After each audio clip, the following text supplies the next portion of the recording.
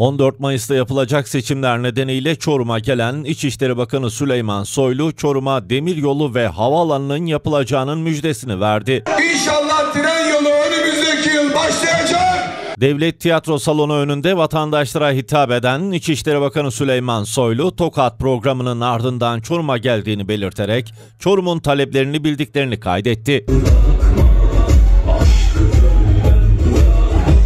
Türkiye'nin kalkınmasını istemeyenlerin 12 yıldır bir cendereye sokmaya çalıştığını aktaran Bakan Soylu, Çorum'a önümüzdeki yıl demir yolunun geleceğinin müjdesini verdi. Tren yolu demişken aklıma geldi. Burada söylüyoruz. Allah nasip edecek. İnşallah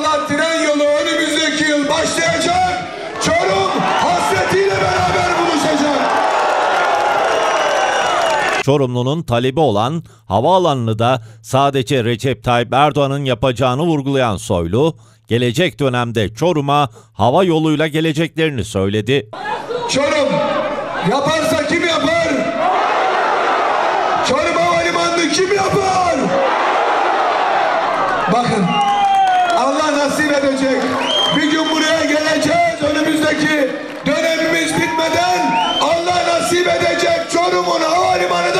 少々さんは。